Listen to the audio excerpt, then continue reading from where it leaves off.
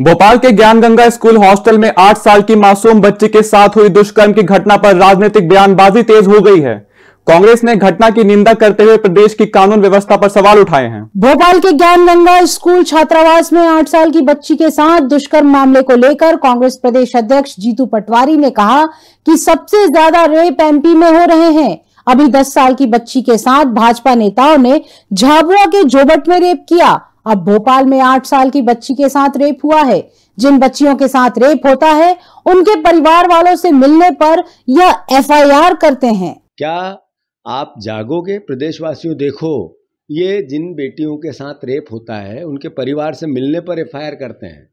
ये राजनीतिक अहंकार की पराकाष्ठा नहीं तो क्या है? मिलने भी नहीं देंगे उससे, जिसके साथ अत्याचार हुआ और अत्याचार करने वालों को बचाएँगे। ये व्यवहार मेरी सरकार का है। कृपया करके मोहन यादव जी, चुल्लू भर पानी में डूब मरो। आपकी सरकार को भी लेके वो डूबना। आप गृह मंत्री भी होते अत्याचार, अनाचार जब होते हैं तो मुख्यमंत्री मुस्कुराता कैसे है? ताली कैसे बजवाता भाषण कैसे देता है? आप रोज भाषण देते हैं, बजाओ ताली। इसलिए कि आपकी मेरी बेटियों के साथ बलात्कार होता है, इसलिए बजाएँ ताली। इसलिए बजाएँ ताली कि आपके बीजेपी के उज्जैन में जहाँ के आप हो कार्यकर्ता सरपंच, उनकी पत्नी और उनका खुद की हत्या कर दी, सरेआम, इसलिए बजाए ताली। इसलिए बजाए ताली कि तीस साल के इतिहास में सबसे ज़्यादा क्राइम अगर हो रहे हैं तो इसी मध्य प्रदेश में हो रहा है। दो लाख बहनें यहाँ से गायब हो गई, रोज सत्रह बलात्कार होते हैं हमारे प्रदेश। इसलिए ताली बजाए। शर्म आनी चाहिए मुख्यमंत्री जी को, मेरे पे एफ़ की, इसलिए कि मैं परिवार से मिला। मुझे फांसी दोगे तो भी मिलूँगा। वहीं कांग्रेस मीडिया प्रभारी मुकेश नायक ने घटना पर कहा कि नेशनल क्राइम ब्यूरो रिपोर्ट के मुताबिक मध्य प्रदेश छेड़छाड़, बलात्कार और महिलाओं के साथ हो रही अमान्य घटनाओं में नंबर वन पर है। सबसे बड़ी चिंता की बात यह है कि सरकार के रहते हुए महिलाएँ यहाँ सुरक्षित नहीं है।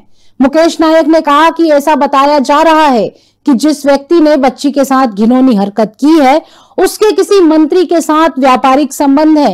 इसी के चलते अभी तक घटना पर कोई कार्यवाही नहीं हुई है। भोपाल की ये घटना मुख्यमंत्री और शासन की नाक के नीचे हुई है। मैं मध्य प्रदेश की सरकार से ये मांग करता हूँ कि जो भी इसमें दोषी है, ऐसी जनचर्चा है, मैं किसी का नाम नहीं लूँगा, कि भारतीय जनता पार्टी के एक मंत्री के साथ उनके व्यापारिक संबंध है, जो इस घटना में शामिल है, और ऐसी भी चर्चा है कि वो भारतीय जनता पार्टी से जुड़े हुए हैं, जिनका नाम इस घटना में आ रहा है।